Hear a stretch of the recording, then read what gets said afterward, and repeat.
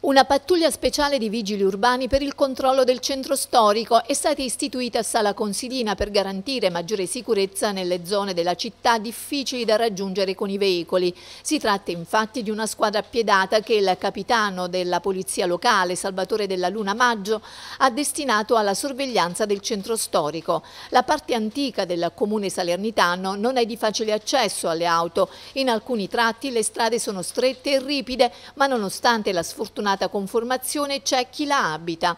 Proprio per tutelare chi ha deciso di non abbandonare il centro storico, mantenendolo in questo modo in vita, la nuova amministrazione comunale ha ordinato al comando di polizia di prevedere controlli periodici nelle diverse aree della zona storica. Ed è così che è nata la speciale pattuglia di vigili urbani. Si tratta di un segnale di vicinanza ai cittadini che vivono nelle aree più svantaggiate, spiegano il vice sindaco con delega alla viabilità Bartolo Lettieri e l'assessore al centro storico Antonio Santarsiere. Gli agenti avranno il compito di segnalare agli uffici competenti eventuali anomalie e attivare azioni per la prevenzione di reati di varia natura. In questo modo, concludono Lettieri e Santarsiere, riusciremo a garantire sicurezza e miglioramento della qualità qualità della vita anche a chi risiede nel cuore della città.